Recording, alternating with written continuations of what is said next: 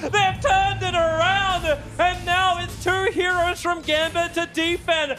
And maybe 71 fucking minutes into this game, we can finally see a tier three tower fall. There's got to be game, man. Like, how do you defend this two on four? They know they have 100 seconds. These three heroes have shown their buybacks being used very recently. Oracle will have another ulti in five seconds. So they have the save. You Beastmaster, Blink Roar, two roars in 20 seconds.